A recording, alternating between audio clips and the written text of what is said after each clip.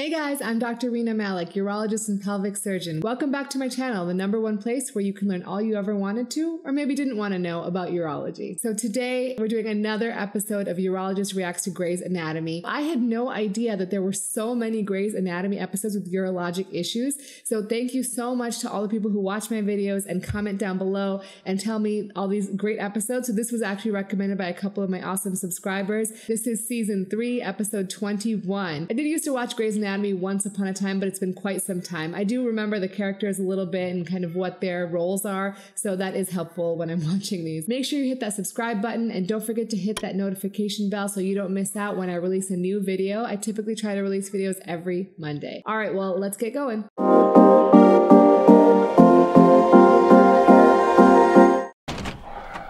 Richard, finally. Oh, for God's sake, what are the Four Musketeers doing here? What happened to all be discreet? Larry, they're here for the same reason I am, to see if they can help. Right. Bunch of ghouls. All right, one of you wants to be the new chief? Fix this. You got my vote. No, those are not grapefruits. Well, it looks as though you won't be needing my services after all.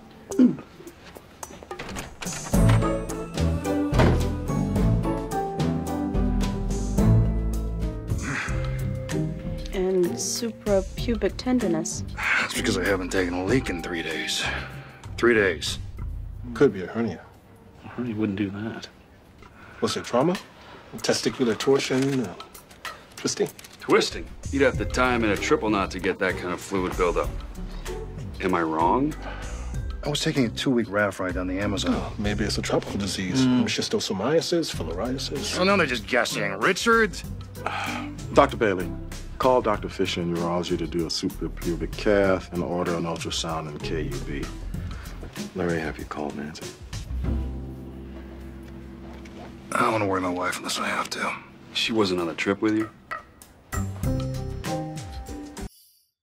Okay, there's a lot going on there. So looks like he has scrotal swelling and urinary retention. What shocks me about this is this guy hasn't peed in three days he would be in so much pain. He would not be just sitting there comfortably talking to them about how he hasn't peed in three days. And the first thing you would do is put a Foley catheter or a catheter in the bladder through the urethra. They did mention a few things. So first they talked about testicular torsion. So typically that's a surgical emergency where the cord to the testicle twists and it causes severe testicular pain that sometimes can have nausea and vomiting associated with it. It doesn't typically present with urinary retention, and it's more common in younger kids or younger boys rather than adult men, although we do see it in men occasionally. However, this guy sounds like both of his testicles are swollen, so I think that's unlikely. Second, they talk about some tropical diseases like schistosomiasis and filariasis.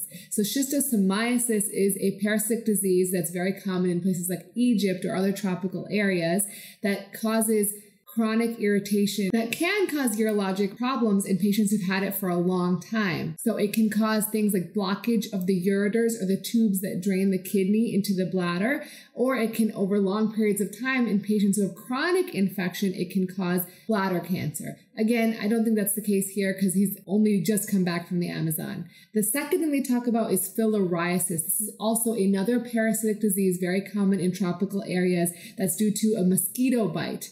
This can cause fluid buildup and in the genitourinary tract it can cause testicular swelling. But again, this happens after having the disease for quite some time in a chronic setting. And the last thing they mentioned is that his wife didn't go on the trip with him. So I'm guessing they're going down the route of a sexually transmitted infection or an STI. And the last thing is they mentioned getting an ultrasound, which is a great test, a testicular ultrasound to assess the blood flow to the testicle, if there's any exactly where the fluid buildup is, if there's any trauma to the testicles, and a KUB. A KUB or an x-ray of the abdomen is not something that I typically get in patients with urinary retention. They mentioned calling a urologist for the suprapubic tube catheter. That is a procedure that requires an incision on the belly to put a catheter in through the abdomen. So typically we would start with a catheter through the urethra or a Foley catheter. And I'm not sure why they decided to skip that step, but maybe the patient just didn't want something going up his urethra.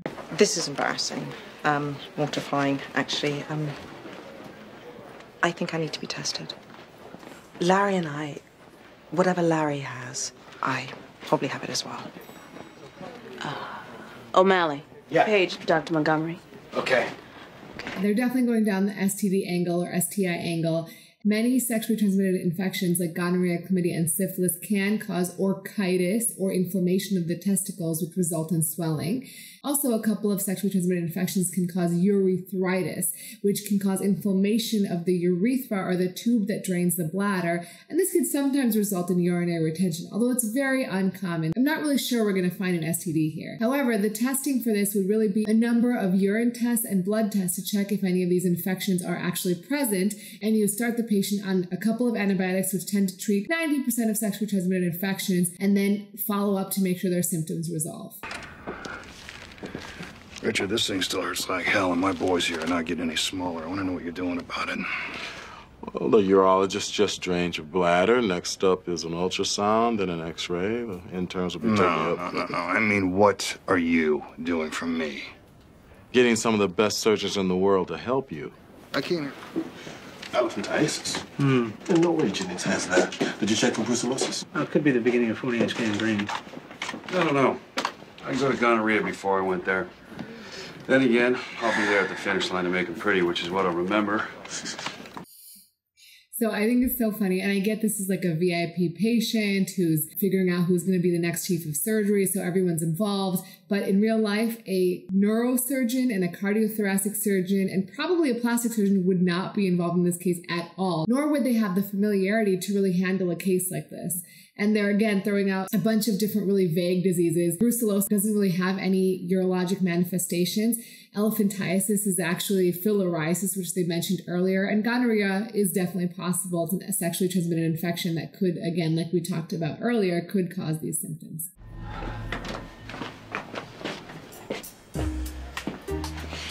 Hey, just so you know, I'll be over here while you're over there, okay? Cute. Easy to locate, right? Mm-hmm. Girlfriend comes with the GPS. Hmm. Looks like some kind of foreign object. Ouch. That almost looks like. A skeleton. It's skeleton, Mike. Definitely skeleton Are those barbs? No. Can't be. Oh, it could be. It looks like a teeny tiny catfish. It's close. You see there? Those are spines. This is a candiru fish. The penis fish?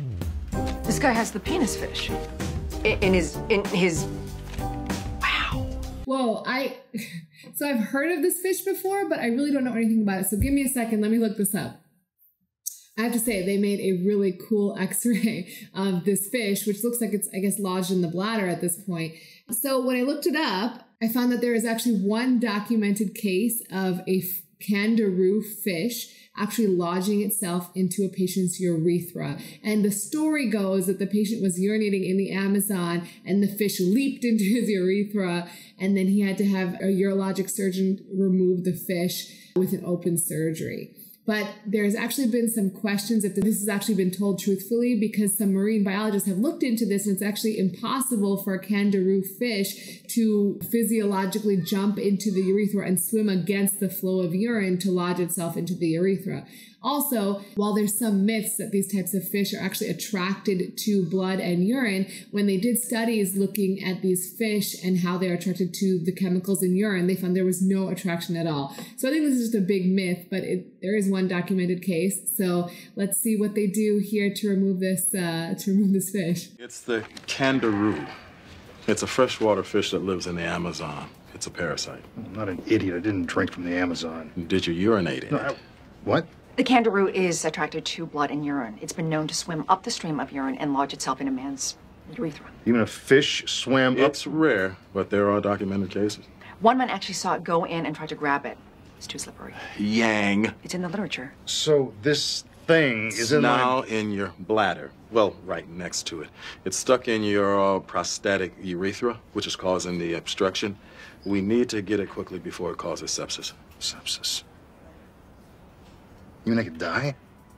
The x-ray that they showed earlier actually shows the fish and based on this x-ray I would assume that that fish is in the bladder. If it was actually in the prostatic urethra it would actually be lower down on the image kind of like right here. So that's one thing. The second thing is he looks pretty well right now. I don't think he's at imminent danger of being septic right this second but yes you would want to try to remove this fish in an urgent fashion. So we do see people lodging things up their urethra occasionally. It can be either because they're doing it for pleasure or because they've done it for some sort of college dare. And those things we do remove in an urgent fashion. So typically what we do to start is we try to go in with a camera, the cystoscope that goes into the urethra, and we try to grab it with some graspers and pull it out. If we can't do that, we sometimes have to make an incision in the abdomen or the perineum, depending on where the item is located. So I had one case like this in residency where someone actually lodged a toothbrush up their urethra, and when they couldn't pull it out, they broke the toothbrush. So then there was a free floating piece of the handle just kind of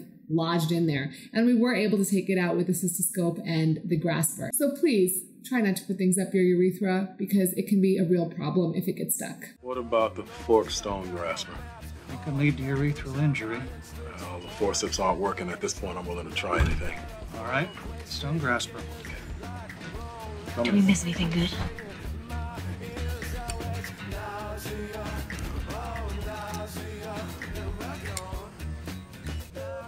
Does he have a pulse at that? Oh, he's going down. Yes. He needs one thing in the other room. How much longer do you think it'll take? Uh, you worry about getting his arrhythmias down. Look, we're gonna have to change our game plan here. The scope isn't working. Excuse me, Dr. Fisher. We're gonna have to open him up. I'm Not really sure what grasper that was that they were using. The fork stone grasper. That's not something I've actually ever heard of.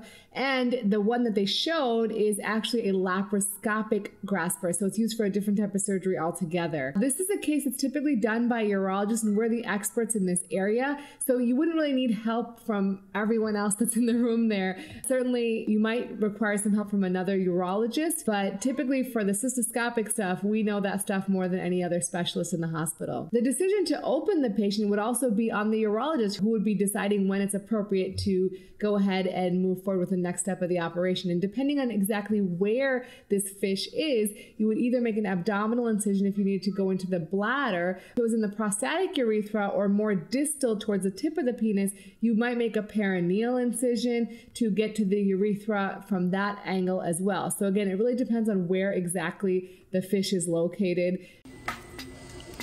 A little more suction there. Those barbs won't let go.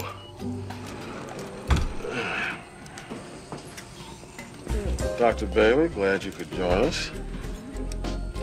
No, this is useless. I'm gonna have to cut it out, Dr. Fisher. I'll repair the bladder. Okay, let's do it. How's his heart holding up? Occasional runs of V-tach. Wait, wait, wait, wait. Did you guys see that? On the screen there, right there, they're still showing the cystoscopy image on the screen. They forgot to take that off.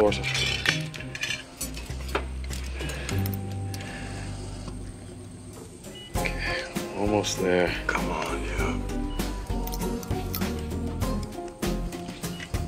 Almost there. Got it. Holy. Oh, Oh! unbelievable.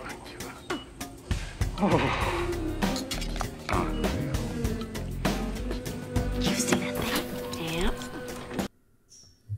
Well, that's horrifying. But typically, what we would do after this is just close the bladder, and he'd probably have a catheter in the bladder that he already had, which is a suprapubic tube catheter that goes in from above the belly into the bladder that way. And he would have a catheter that goes in through the urethra. And while things are healing, he might have both catheters in place. Depending on the damage that was done, you leave a catheter in for any anywhere from one week to three weeks, and then you'd remove both catheters, make sure he's urinating okay, and take those out. But overall, great episode. I learned something new today, and I hope you guys did too. Comment below, let me know what you thought of the episode, and if you have any other recommendations. I am keeping track of all the things you guys are commenting about. I have a list that I keep with all the episodes and things you guys want me to react to, all the videos you want me to make. I will do my best to get to all of them for you guys. So thanks so much for supporting me. To those of you who think I look like a brown Teddy Altman, thank you so much. She is stunning, and I feel honored that I'm even remotely look anything like her. So thank you so much. Thanks as always for watching, and always remember to take care of yourself because you're worth it.